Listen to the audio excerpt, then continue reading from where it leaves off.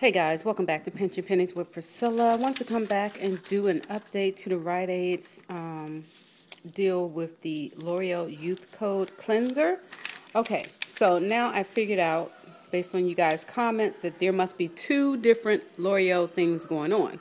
So I mentioned this one earlier in my video where they excluded the cleanser. So this is not a part of this promotion where you get the $5 up reward. However, you guys let me know that there was something else going on. So I had to look again and here it is. Um, the L'Oreal facial cleanser right here is on sale for $4.39. It's just not a part of an up reward, okay? So you will be able to get this for $4.39.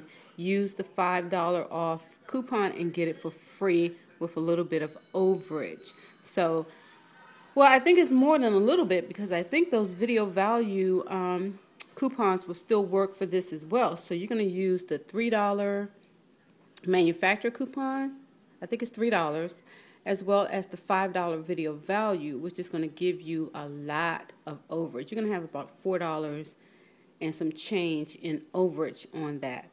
But I, you can never find this. I mean, especially since it was on sale last week or this week that's ending today. It is very hard to find that cleanser. So if you can find it, good for you.